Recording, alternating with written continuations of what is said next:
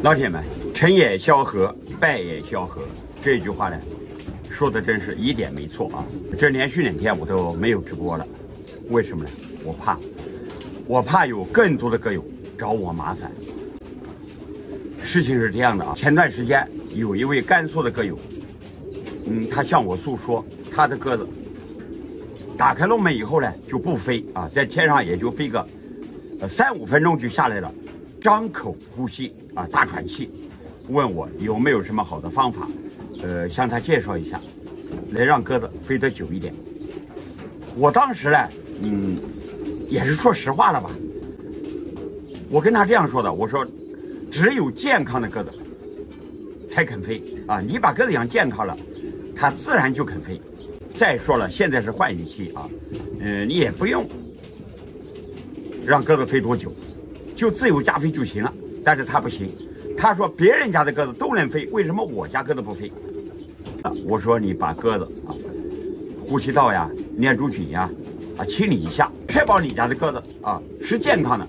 那么我向你推荐一种方法，因为我这是我们打比赛啊，呃，一些各有的一些经验啊，也不是说每个各友都知道。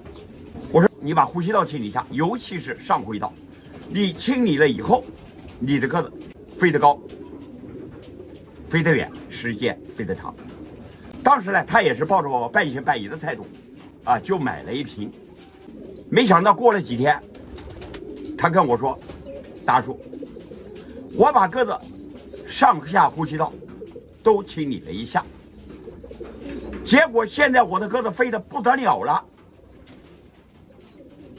早晨我都不敢放了。”我都是到下午放啊，下午放出去，它竟然飞两个多小时都不下来，你这咋整呀？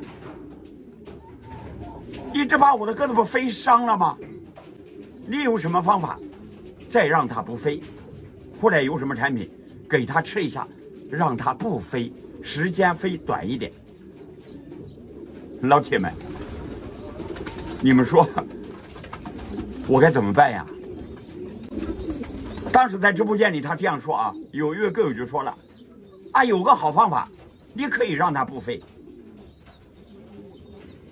烧点开水烫一下，它就不飞了。当然这是玩笑话啊，不飞你找我是吧？叫我给你出出主意。现在飞了吧，你又说时间飞久了，我当时我就跟朋友们说啊，如果你不怕你的鸽子飞伤了、飞累了。那么让鸽子飞的方法有很多，啊，让它时间飞得长，飞得久。屏幕前的你啊，如果你的鸽子不飞，就是低飞不高飞，你可以把鸽子的上呼吸道给它清理一下。不过这东西飞好，我要给你提个醒啊，就是呢，嗯，做过以后不能驯化，还有一个比赛及格上笼前不要用。最少提前两到三天啊用，比方说你今天晚上用过了，明天不能熏发啊，不能熏发，可以加飞，你可以试一试，它的作用有多么的强大。我还是善意的提个醒啊，现在是换羽季节，又是炎热高温，能休息就让鸽子尽量多休息，让它安全、快速的。换羽。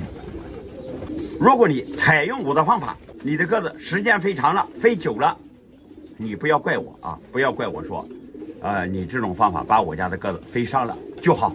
朋友们。